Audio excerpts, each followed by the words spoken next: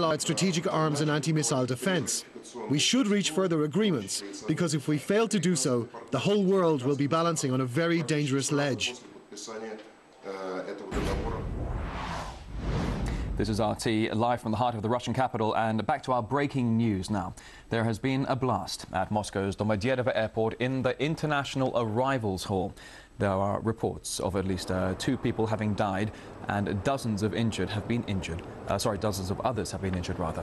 The main airport uh, and its main building is being evacuated. And more on this breaking news story as we get it right here on RT.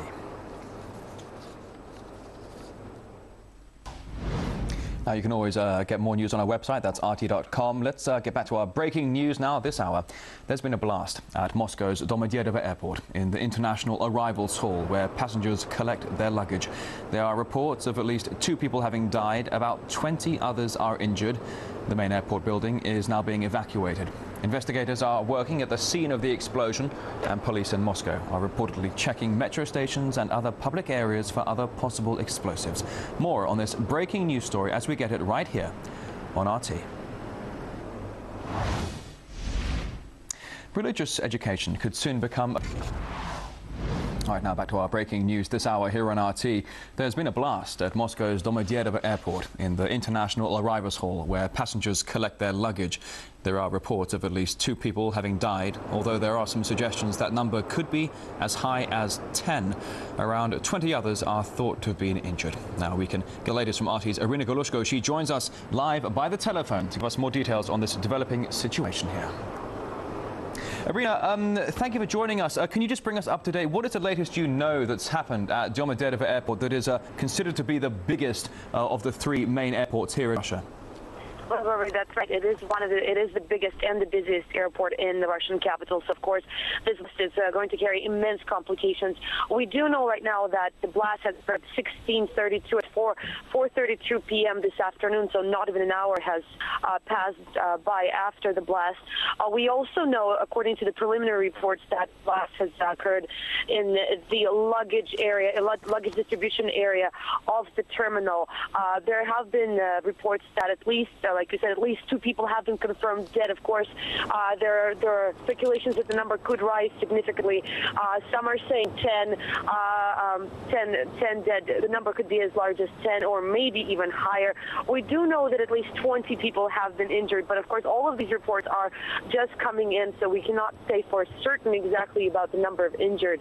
Uh, we also know that the airport authorities are evacuating the passengers and everybody else from the terminal. Of course, they have to figure out if if if, if there is a chance for another explosion occurring uh, anytime in the future or not.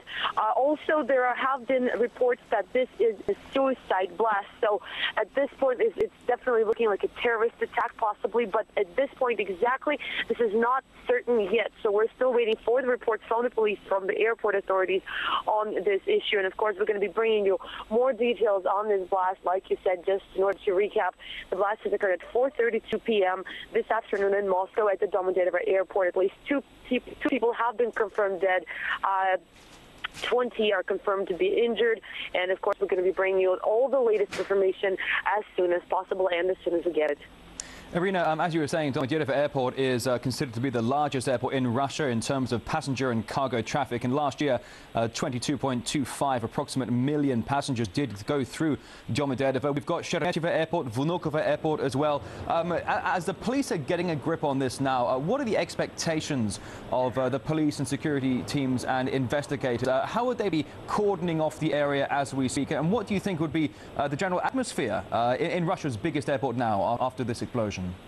Well, I have to say they have job uh, laid out for them in that, in that regard because of course airports I mean this is a major but of course they also have probably to deal with uh, the safety of not just Domodedovo I mean we don't we do not know anything at this point what this has what this explosion has been. So of course they will have to figure out a way to reroute people to different airports. They will have to figure out a way to clear all the area around it of the cars and and uh, buses and everything else. And of course this is going to uh, heavily damage uh, I guess the uh, infrastructure of the airports. They will probably also have to uh, carry very extensive security checks at the, like you said, at uh, the rest of Moscow's airports, uh, uh, the Vnukovo, and uh, Sheremetyevo as well. So there is a lot of jobs they have to do. There is a lot of work that they have to do. Uh, also, of course, this is going to implement the travel plans of a lot of people, and that, of course, we also have uh, to keep in mind. But I'm imagining that at this point, at the Domodedovo airport, the situation is probably that of a panic. I mean, all of a sudden you have an explosion in the middle of the busiest airport in the middle of the day. So they will also have to uh, control people psychologically. Uh, so this is something that Moscow police is definitely going to have to work on uh, very, very hard. All right, RT's Irina Galushko there giving us the latest on this uh, mm -hmm. explosion, this blast at uh, Moscow's Domodedovo airport. This is breaking news here on RT. We'll give you more details as soon as we get them. And for the meantime, we turn over to Dimitri for the business news.